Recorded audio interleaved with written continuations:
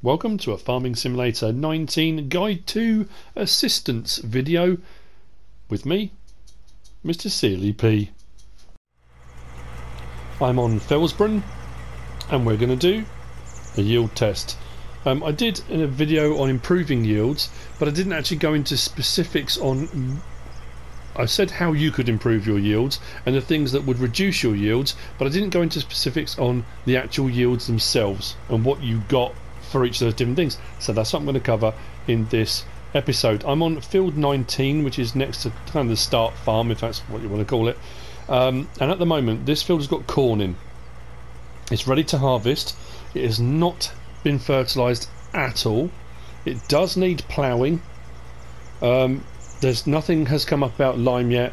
I've turned weeds off. So basically, it's got nothing. It's just as is. There's no additional things to it. There's no lime. There's no fertilizer. Nothing being added to improve the yield. But there's also, um, apart from the ploughing aspect, there's no negatives. There's no weeds in there or anything. So I'm going to take this as my kind of baseline. Then I'll plough the field, and we'll do it again, um, and see if ploughing the field gives you an improved yield. Uh, then we'll look at one fertilizer state, what we get. Two fertilizer states, what we get. Um, and then we'll look at the negatives. We'll do the field again and we'll see what happens. Um, it will we'll have all the states done on it and then we'll see what a detrimental effect the um, the weeds have. So it will be a kind of it'll be interesting to see. I don't know if there's going to be much difference between the yields but we'll see how we get on. I have got the uh, John Deere S790 for this task with the larger header. I've also got John Deere I think it's a 6 was it a 7 I went for uh, 6230 with an Agroliner trailer on the back to collect and I've got a grain silo to put them in. I, I don't think I'm going to get that much but we'll see. Um, so what I'm going to do is set the harvester off and we'll see what we get at the end. So I will see you momentarily and we'll see what the yield is of this field absolutely bare. Then I'll plough the field, I'll replant, we'll go again and see what difference the ploughing makes and so on and so forth. Um, I will explain after each stage what's been done and what the yield is and we'll see what the comparisons are. Uh, so I'll see you in a bit.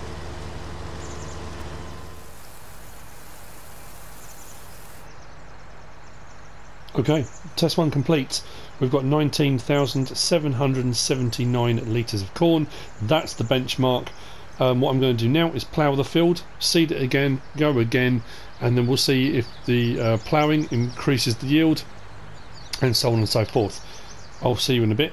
Probably when the next harvest is done. There might be a small time lapse of a bit of ploughing or something like that. We'll see how we go. Um, I'm very conscious of the the episode going on too long, but then also don't want to just be a kind of jerky yield, yield, yield, yield. There's the results, you know. We'll see. Anyway, uh, see you in a minute.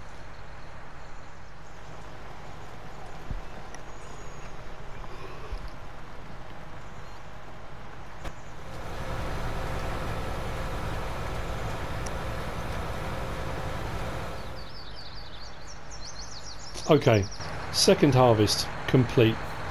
The second harvest I ploughed. Now in the old game ploughing would give you a 10% bonus. According to this page here you've got the positives, you've got the negatives and this is where it gets a bit weird. It says to avoid a 35% yield malus you must remove weeds, we haven't got weeds on at the moment, plough after corn, potato, sugar beet and sugarcane, otherwise you take a 15% hit. Now the weird thing was when I started off on that first crop it didn't say the field needed ploughing. Afterwards it did. So I ploughed it. Now that should mean that I don't take a deficit. My yield is 21,976 which has given me a 10% maybe even 15% bonus. So I've gained crop by ploughing. According to that other page it says you'll take a deficit if you don't. But it's given me a bonus, it's given me more. So is it worth ploughing? Yes, I have gained crop. Which is a bizarre one. Like I say, that page is a bit confusing, that help page, with the positives and negatives and you know, the assumption is you take a loss, but I haven't. I've actually gained. So what the field is asking for now it says it needs ploughing because it was a corn crop. It needs ploughing after every time you do corn. It also says it needs lime. So I'm not I'm not going to fertilise. What I'm going to do, I'm going to plough. I'm going to lime, and according to that page, lime says it gives you a 15% bonus. So we should technically get what we got this time, 21,900 and something, plus another 15% on top because we're doing lime. That's the theory. So that's what I'm going to do. I'm going to plough, I'm going to lime, seed, we'll go back round again, I'll harvest and we'll see. Have we gained again from doing the lime? So.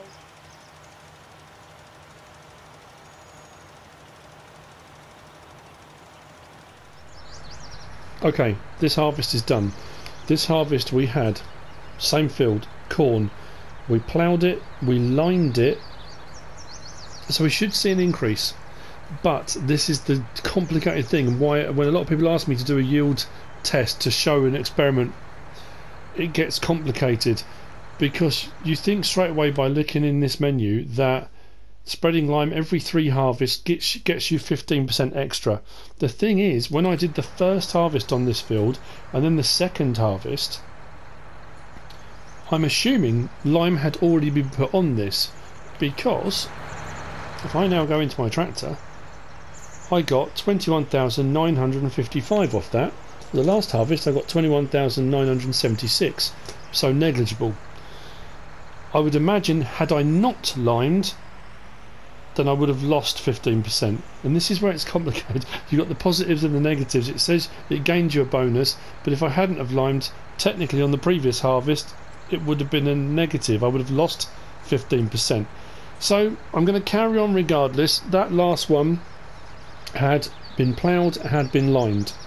The lime will last for three harvests, so I've started ploughing this one again. So this next one will have ploughed, lime, and we're going to do one fertilising state. I've got the Rubicon over at the store, I'm going to bring that over. So it'll be ploughed, limed, one fertilising state. That fertilising state should add, um, where does it say, 25% each fertilising state.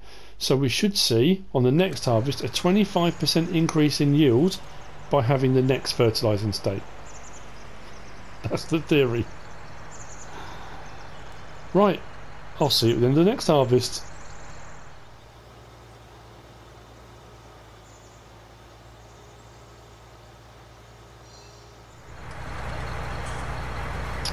Okay, so this test then, the field was limed that was still carried over from the last time I limed, ploughed and fertilised once, giving us 50% fertilisation. That should give us, if we go into this menu, each fertilising state should give you 25%. Okay, so if we were getting about 20,000, we actually got 21,955. 25% extra should give me about 5,500 more.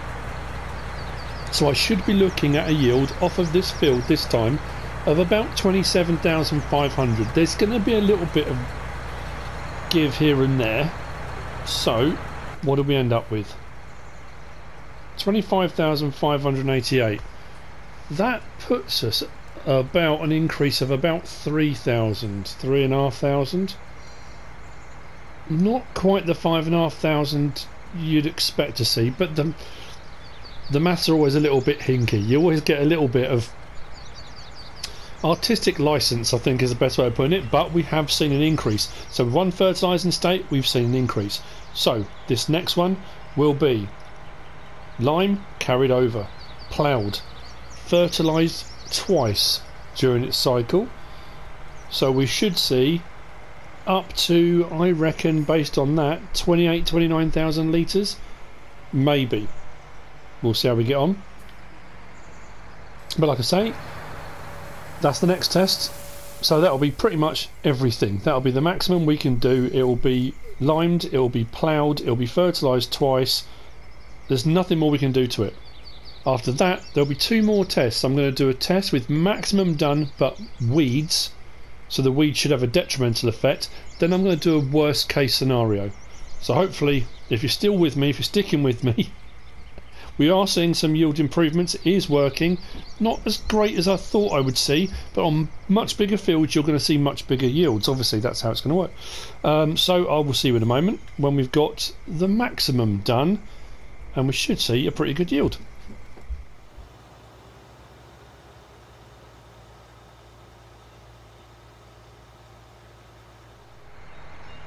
And so, our best case scenario with everything on, we have got ploughing done, lime done, two fertilising states done, um, and we've got 29,255 litres, which is an improvement on the last one. The extra fertilising state has improved our yield.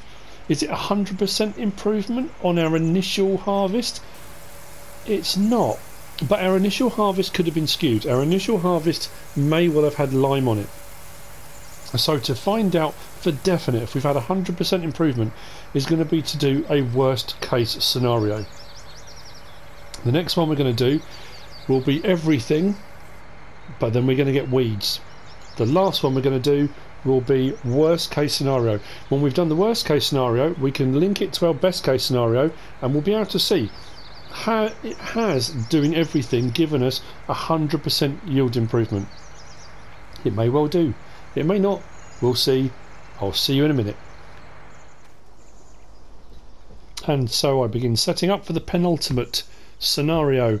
This scenario is pretty much the same as the previous one, where we do maximum yield, we get everything. With one small snag, we do everything right. We do the ploughing, we do the lime, we do the seeding, fertilizing, everything, but we forget to do the weeds. We're off somewhere else across the map, off somewhere else. By the time we come back, they're established, our weed is broken, we've run out of herbicide, whatever it might be, and the weeds take hold. So it should be a maximum yield, but the weeds are going to knock us back a little bit. So we're going to see what we end up with, with just the weeds causing some issues.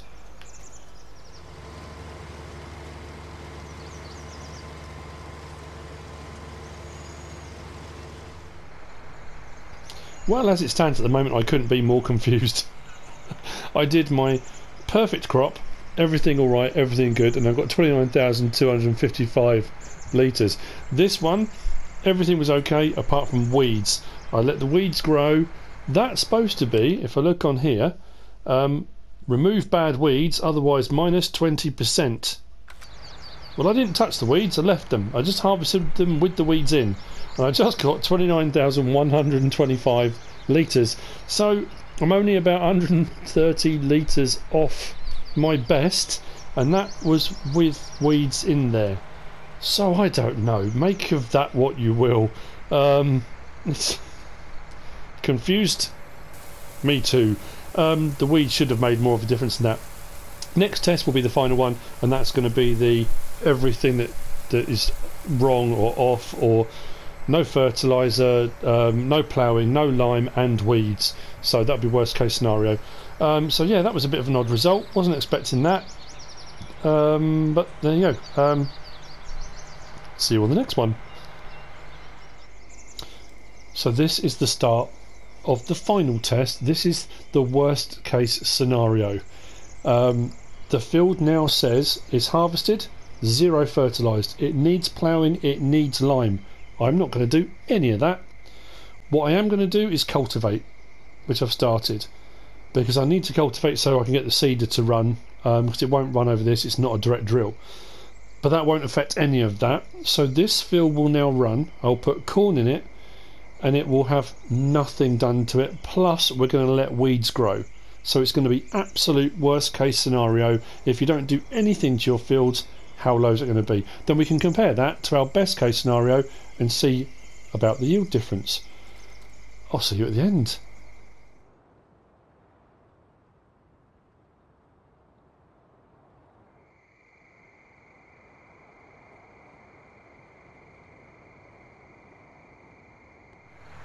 And here we have it, our worst case scenario 17,457 litres. That's about 2,300 less than our very first harvest we did and that's the one I thought probably still had the lime left over from previous harvests. So that lime has made a difference of about 10-15%, which is about what it said it would do. Do we get 100% more by doing all the extra stuff? We don't. Because if that's worst case scenario, 17,400, doubling that, 100% more on top, would give me 34,000. And my very best yield off that field was 29. It's only a difference of about 4,000, 5,000 litres, but it's, it's off a little bit. No major dramas. What have we learned from it? Well, not ploughing, not putting lime down when it asks you to, makes a big difference. The fertilising states make a big difference. So, when I did my initial um, improving yield video, I showed you all the ways to do it. This kind of backs it up and says, these are the facts. This is the evidence. Yes, it does make a difference. And as you can imagine, as you build it up and scale it up onto much, much larger fields, that's going to have a much bigger impact. Um, and that's about it. Um, I hope you found it useful and informative in some way, shape, or form. If you have, give us a like. If you don't subscribe yet, please do. If you want to leave a comment, feel free. And if you want to share this video, then please be my guest, whatever you should choose to do. Thanks for watching.